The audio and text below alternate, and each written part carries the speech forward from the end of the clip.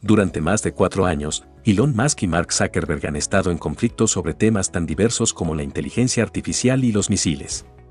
Este es un tema interesante, así que mira nuestro video hasta el final, así como no te suscribas a nuestro canal para no perderte los temas interesantes. Los dos magnates, uno liderado por Tesla y SpaceX y el otro por Facebook, no han ocultado su rivalidad. Cuando la explosión de un cohete SpaceX destruyó el satélite de Facebook en 2016, Zuckerberg emitió una declaración acalorada en la que dijo que estaba profundamente decepcionado por el fracaso de SpaceX. Mientras Facebook se vio envuelto en el escándalo de Cambridge Analytica, Musk eliminó públicamente las páginas de Facebook de sus compañías, tuiteando que la compañía le había causado escalofríos. Los dos multimillonarios se encuentran entre las personas más ricas del planeta, lo que los coloca en el círculo de élite incluso para los estándares de Silicon Valley. A pesar de que ambos se involucran en inteligencia artificial y sus compañías han colaborado en el pasado, parece que no hay amor entre Musk y Zuckerberg.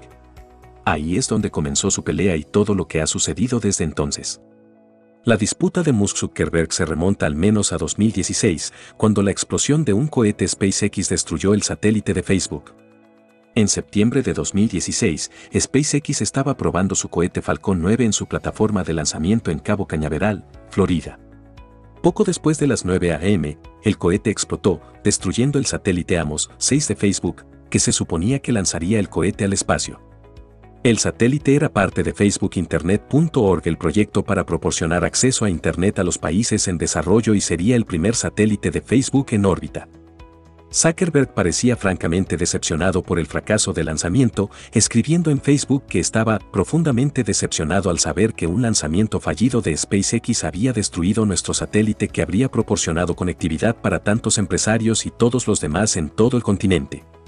Dos años más tarde, Musk abordó el lanzamiento fallido en Twitter con el reportero Kerry Flynn. Sí, soy culpable de ser un idiota, dijo Musk. Les dimos un lanzamiento gratuito para compensar eso y creo que tenían algún seguro. En 2017, Zuckerberg criticó la actitud de Musk hacia la inteligencia artificial, comentarios que parecían entusiasmar a Musk. Durante una transmisión en vivo en Facebook, un espectador le preguntó a Zuckerberg qué pensaba de las preocupaciones de Musk sobre la IA. Tengo una opinión bastante firme al respecto, dijo Zuckerberg. Especialmente en lo que respecta a la IA, soy realmente optimista y creo que las personas que son escépticas y están tratando de encontrar escenarios del fin del mundo. No lo entiendo. Es realmente negativo, y de alguna manera realmente lo encuentro bastante irresponsable. Musk, quien ha pedido repetidamente regulación y precaución cuando se trata de nuevas tecnologías de inteligencia artificial, respondió en Twitter. Hablé con Mark al respecto, dijo en respuesta a un tuit sobre los comentarios de Zuckerberg. Su comprensión del tema es limitada. En Facebook, después del escándalo de Cambridge Analytica en 2018, Musk eliminó públicamente las páginas de Facebook de SpaceX y Tesla. Después de que el cofundador de WhatsApp, Brian Acton, tuiteó, ha llegado el momento. Almohadilla de Facebook, respondió Musk, que es Facebook. Un fan respondió al tweet de Musk preguntándole si eliminaría la página de Facebook de SpaceX, a lo que Musk respondió, no sabía que lo era. Acerca. Después de que otro fan señaló que Tesla también tenía una página de Facebook, Musk tuiteó que todavía no parece convincente. Poco después, las páginas de SpaceX y Tesla desaparecieron de Facebook. Musk dijo que no era una declaración política y que simplemente encontró a Facebook inquietante. Musk continuó su campaña contra Facebook a principios de 2020. En respuesta a un tuit del actor Sasa Baron Cohen que pidió una regulación más estricta de Facebook, Musk una vez más instó a las personas a eliminar la aplicación. Según un tuit del CEO de Tesla y SpaceX publicado el 8 de febrero de 2020, a Elon Musk todavía no le gusta Facebook. El hashtag delete Facebook apesta, dijo Musk. Después de los disturbios en el Capitolio de los Estados Unidos, Musk usó Twitter para compartir memes que vinculaban los disturbios con Facebook. En la noche del día de los disturbios de Washington, Musk tuiteó, se llama efecto dominó, así como una imagen de dominó, la primera de las cuales fue etiquetada como sitio web de evaluación de mujeres en el campus, que se refiere a la creación de Facebook en la Universidad de Harvard. El último dominó se refería a los rebeldes.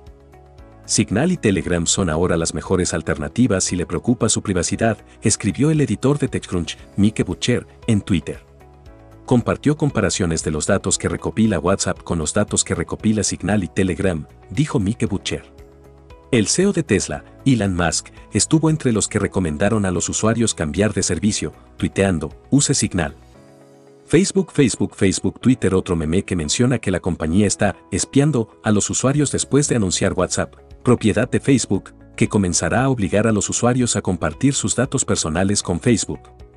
Facebook compró WhatsApp en 2014 y en 2016 les dio a los usuarios una oportunidad única de optar por no compartir datos de aplicaciones con Facebook. Musk tuiteó que las personas deberían usar Signal, una aplicación de mensajería encriptada. Su tweet fue retuiteado por el CEO de Twitter, Jack Dorsey, otro ejecutivo de tecnología que se enfrentó a Zuckerberg.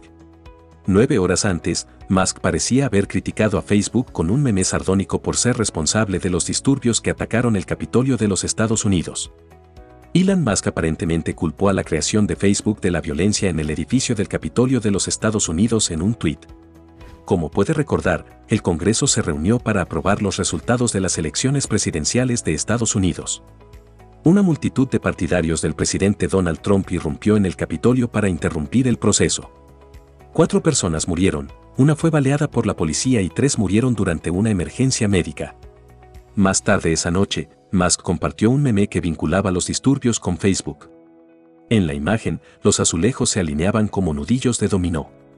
El mosaico más pequeño, el dominó que hace que el resto caiga, ha sido etiquetado como un sitio web para evaluar a las mujeres en el campus, en referencia a la creación de Facebook por parte de estudiantes de la Universidad de Harvard.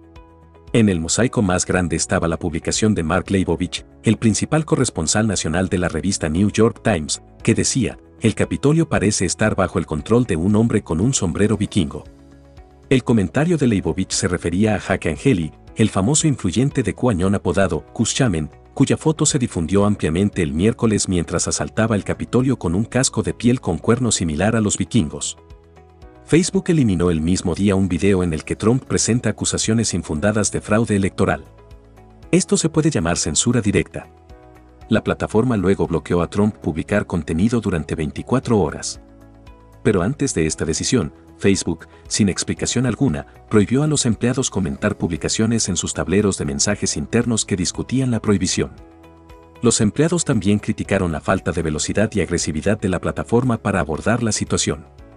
El CEO de Facebook, Mark Zuckerberg, envió a los empleados una nota condenando la violencia de la multitud, calificándola de un momento oscuro en la historia de nuestro país. La transferencia pacífica del poder es crucial para el funcionamiento de la democracia y necesitamos que nuestros líderes políticos den ejemplo y pongan a la nación en primer lugar, dice la nota. El CEO de la compañía de vehículos eléctricos Tesla y la compañía espacial privada SpaceX, Elon Musk, y el CEO de Facebook, Mark Zuckerberg, pueden llamarse rivales. Su larga rivalidad es evidente. Una de las principales contradicciones de estos dos empresarios y propietarios de grandes empresas es la disputa sobre la inteligencia artificial. Que es un defensor desde hace mucho tiempo del control sobre el desarrollo del pensamiento informático y, según el multimillonario, este es el problema que más le preocupa en este momento. El trabajo en inteligencia artificial para los autos de Tesla ha demostrado al multimillonario que la humanidad ya se está acercando a una situación en la que la inteligencia artificial será sustancialmente más inteligente que los humanos. Creo que hay menos de cinco años antes de eso. Eso no significa que todo se vaya al infierno en cinco años. Es solo que la situación se volverá inestable o extraña, predice Musk. Muchas personas inteligentes subestiman la inteligencia artificial porque ni siquiera piensan que una computadora puede ser tan inteligente como un ser humano, dijo. Es un orgullo y un error evidente, ha enfatizado el empresario. La controversia en torno a la inteligencia artificial se está calentando todos los días y los multimillonarios no se quedan al margen. Estos dos multimillonarios se encuentran entre las personas más ricas del planeta, lo que los coloca en el círculo de élite incluso para los estándares de Silicon Valley.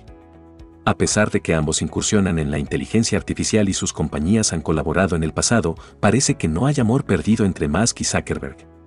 Teme que las empresas en la búsqueda de tecnologías avanzadas puedan olvidarse de los peligros que conlleva la inteligencia artificial. ¿A qué puede superar la larga y agotadora confrontación de dos multimillonarios? ¿Alguno de ellos comenzará a insertar palos en las ruedas de su oponente o vengará el deterioro de la propiedad? Este es un tema bastante interesante para un simple observador en la calle. ¿De qué lado está la verdad en la confrontación de dos multimillonarios en su opinión?